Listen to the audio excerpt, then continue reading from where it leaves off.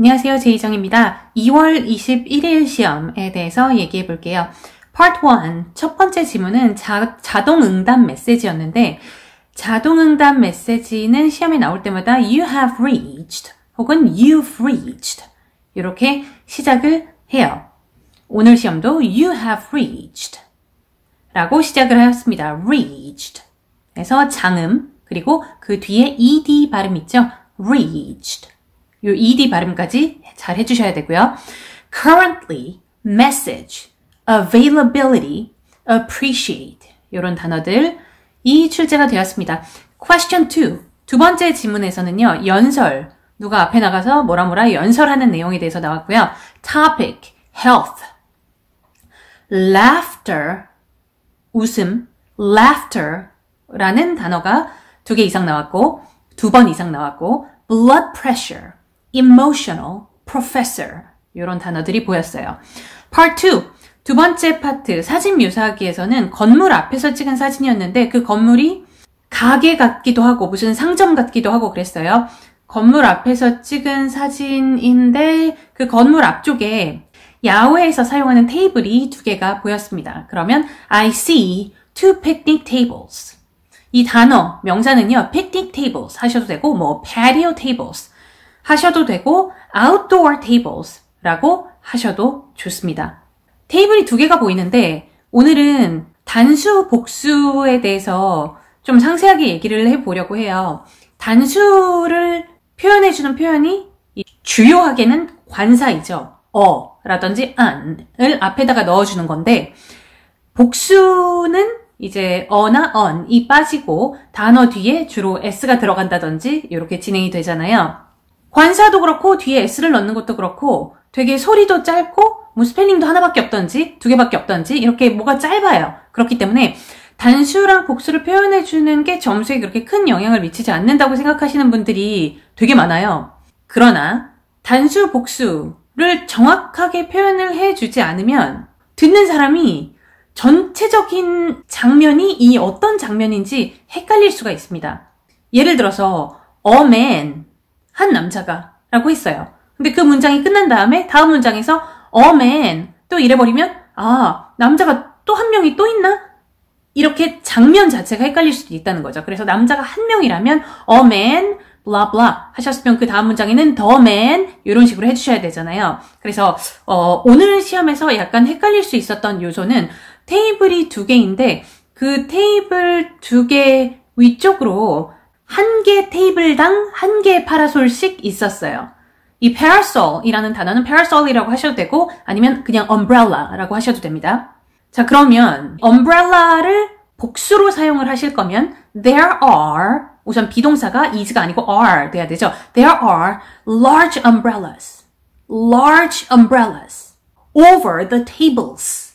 어, tables 두 개, tables의 위에 large umbrellas가 있습니다. 라고 이 복수를 잘 해주셔야 되고 단수로 사용하는 방법도 있는데 각 테이블이라고 표현을 해주시면 각 테이블 위에는 umbrel라가 하나가 있는 거죠.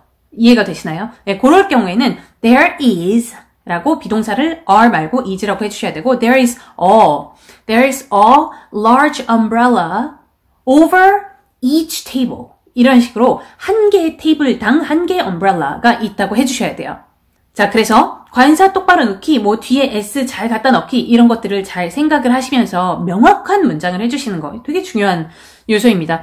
여러 명의 사람들이 이 테이블에도 앉아 있고 이 테이블에도 앉아 있었는데 그럴 때도 several people are sitting around the 테이블 얘기 방금 했잖아요. 그러니까 sitting around the tables 하실 수도 있고 아니면 단수로 하실 거면 several people are sitting around each table 각 테이블에 여럿씩 앉아있다. 이런 식으로 단수 복수를 생각을 좀 깊이 해보시면 좋겠습니다. 실수가 안 나와야 돼요. 이런 부분에서 Part 3는 인터넷 서비스에 대해서 출제가 되었고요.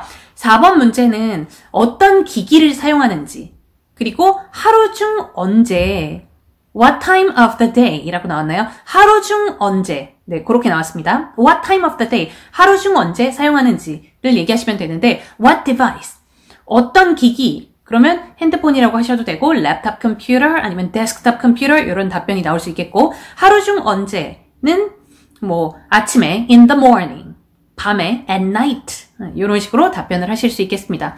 5번 문제는 how long으로 시작을 했는데 인터넷을 사용하려면 나에게 인터넷을 제공해주는 회사가 있잖아요. 네, 그래서 내가 지금 이용을 하고 있는 그 회사를 얼마나 오랫동안 이용을 했습니까? 라는 질문이었습니다. 지연해서 말하면 되죠. 1년, 6개월, 뭐 이렇게 얘기해 주시면 되고, 질문이 두 개가 나왔었는데, 두 번째 질문은요, are you? 라고 시작을 했어요.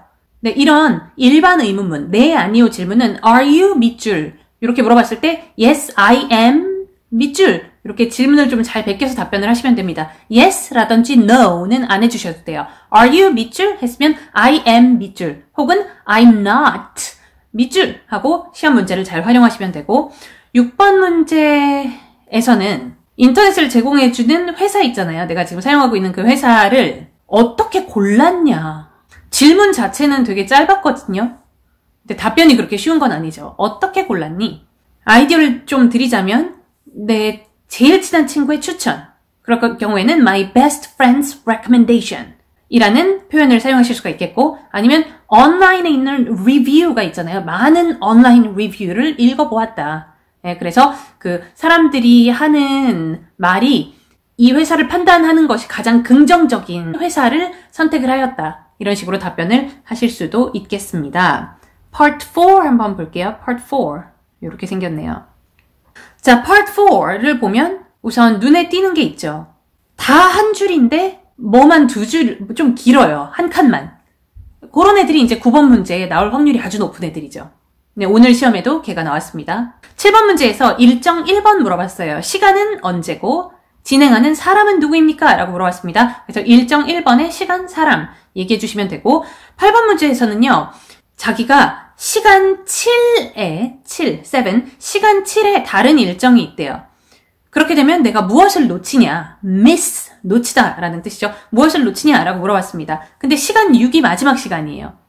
그러므로 모든 게 끝나고 나서 나의 다음 일정이 시간, 스케줄이 잡힌 거기 때문에 답변으로는 우리는 시간 6에 끝난다. 그렇기 때문에 당신은 아무것도 놓치지 않습니다. 라고 해주시면 되고 9번 문제는 제가 초반에 말씀드렸듯이 제일 긴 부분 일정 2번이 나왔습니다. 일정 2번에 세부사항, 상세 내용에 대해서 다 얘기해 주세요. 라고 물어봤고, 일정 2번. 그래서 시간 2번, 일정 2번, 사람 2번. 그리고 밑줄 부분 세부 사항까지 30초에 맞춰서 얘기를 해주시면 됐었던 시험이었고요. Part 5. 기존 유형이었습니다. 아, 또 되게 자주 나오는 시험 문제가 나왔어요. 뭔 가게예요. 아이스크림 가게라고 합니다. 아이스크림 가게. 인데 무슨 새로운 메뉴를 출시를 했대요. 잘 안 팔린대요. 어떻게 하면 좋을까요? 라는 질문이고 요새는 이제 뭐가 잘 안 팔린다, 장사가 잘 안 된다 이런 시험이 출제가 되면 그 듣기의 내용 안에 광고는 이미 했다가 거의 기본적으로 요새는 매번 시험에 나오고 있습니다. 그래서 광고를 합시다 라는 해결책은 좋은 해결책이 아니겠습니다. 왜냐하면 듣기 내용 안에 광고는 이미 했다고 말을 했기 때문에 자 그러면 제가 아주 애용하는 아이디어 중에 하나는 제가 여러 번 또 말씀드렸어요. 공짜로 샘플 주는 거 있죠? 네, 그런 아이디어. 만점 나올 수 있는 아이디어입니다. Offer free samples. 조금 더 길게 하실 거면 to everyone who visits our store. 우리 가게를 방문하는 모든 사람들에게 free sample을 주자. 이 free sample 같은 경우는 단수여도 복수여도 뭐 큰 차이점이 없어요. 단수라고 하면 뭐 샘플 하나를 주는 거고 samples라고 하면 여러 명한테 여러 명을 주는 걸 수도 있고 그래서 여기는 단수 복수 둘 중에 하나를 선택은 하셔야 됩니다. give a free sample. 그러니까 offer a free sample. 문법상 아니면 offer free samples. 그 두개 중에 하나 선택은 해 주셔야 돼요. 관사나 뒤에 s 넣는 거.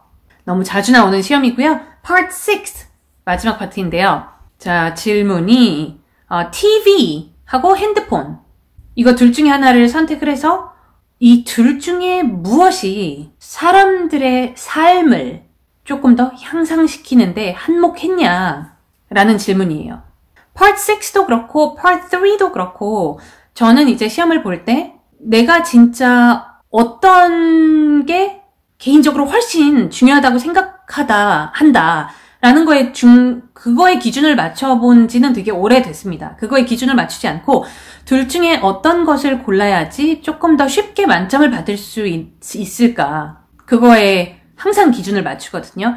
그런데 둘 중에 어떤 것을 골라야지 조금 더 쉽게 답변을 할 수 있을까? 이거를 선택하는 과정에는 항상 이 생각이 들어가 있는 것 같아요. A와 B라고 했을 때, 자, 오늘 시험은 TV와 핸드폰입니다. 제가 항상 시험을 볼 때 양자택일이건 아니면 세 개 중에 하나 고르는 거건 생각을 하는 게 뭐냐면 어떤 게 가장 포괄적인지를 항상 생각을 하는 것 같아요. 조금 더 쉽게 설명을 드리자면 TV로 핸드폰을 할 수 있나? 그거를 생각을 해요. TV로 친구랑 통화할 수 있나? 쉽게 설명하자면 있나요? 당연히 어렵다고 봅니다. TV로 친구랑 통화하는 거. 핸드폰으로 TV 볼 수 있나? 이거를 생각을 해봐요. 아, 요새 핸드폰으로 TV 볼 수 있죠. 네, 그래서 이렇게 조금 더 포괄적인 아이를 고르잖아요? 그러면 답변이 조금 더 쉬워지더라고요. 그래서 여러분들도 그거를 좀 생각을 해보시면 좋을 것 같아요. 그래서 핸드폰을 골랐을 경우에 또 많은 정보를 사람들이 얻을 수가 있고 핸드폰을 통해서 사람들이 커뮤니케이션을 적극적으로 할 수 있잖아요. 커뮤니케이션은 사람들의 인생, 삶을 발전시키는데 아주 큰 역할을 했다고 생각합니다. 뭐 이런 얘기를 좀 하신 다음에 적어도 한 문장은 그리고 그리고 요새는 핸드폰으로 TV를 볼 수 있다. 해서 이게 이것의 기능까지 가지고 있다. 이런 문장을 하나 더 넣어줄 수 있다는 말이죠. 그래도 part 6.